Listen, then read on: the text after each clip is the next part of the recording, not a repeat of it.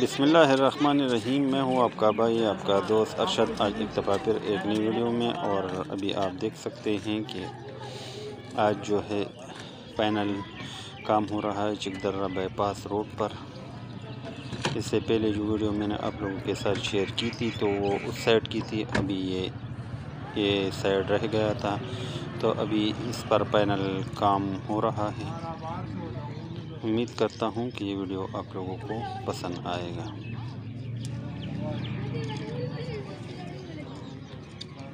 Yeah,